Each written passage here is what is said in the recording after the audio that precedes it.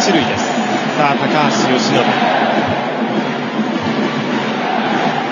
点が本当に重い重いゲームになってきました。いやしかしあの田中の復帰戦体調面などもいろいろ気になるところではあるんですけれども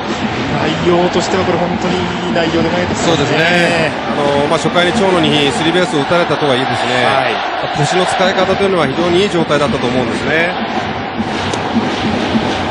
ボールですが今はこう小山のイメージに近いところにしっかり投げてきました。このようにスライダー、カーブ、左バッターの内側に入っていく、近づいていくボールというのは非常に危険さもあるんですけども、はい、しっかりと投げられてますからね。左右を使おうという小山のミット、中に入ってきて、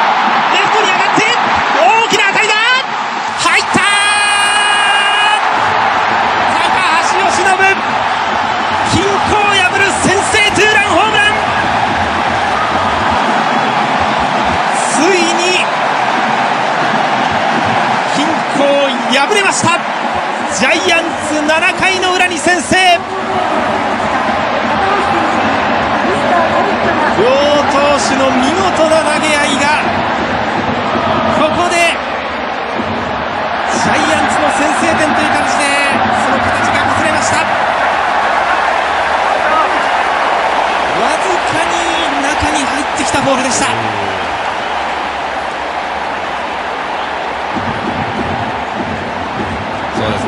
当に中にちょっと入ってきてしまいましたけれども。ただそれをここまで持っていきました。やっぱり踏み込みとそのタイミングの良さでしょうね、はい、インコースのスライダーを見せられた後それでもしっかりと